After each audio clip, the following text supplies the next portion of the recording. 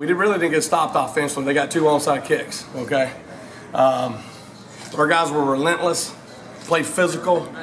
That, that's, the, that's the locker room I know, okay? And I, I, think everybody thought we were falling apart at the end.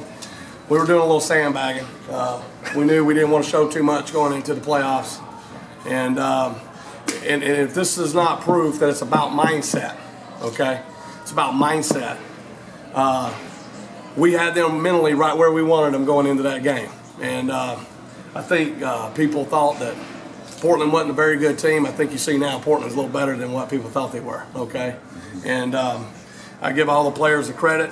Uh, they worked their butts off to get to this point, and uh, we got two weeks to prepare, and we got to go finish. They did an outstanding job. It was a great team effort. Huey played outstanding. Rod did. The O-line didn't give up a sack all night. They protect their butts off. Poos did outstanding. Chris Jackson came and did great. Carried both sides of the ball. Yeah. It was just an all-around great game for everybody. Now we get to find out who's the better team, yeah. us or Cleveland. Okay, they had a great record this year. Stevie Thonn's done an outstanding job, and and uh, we'll see those guys up in Cleveland. Unfortunately, we didn't get to have it here and there. That's the only regret I got right now is we didn't get to have it here. But we said we didn't care where we played the Arena Bowl. If we get in the Arena Bowl, then I like our chances. And and uh, you know, but we're going to enjoy tonight. We'll start thinking about Cleveland tomorrow.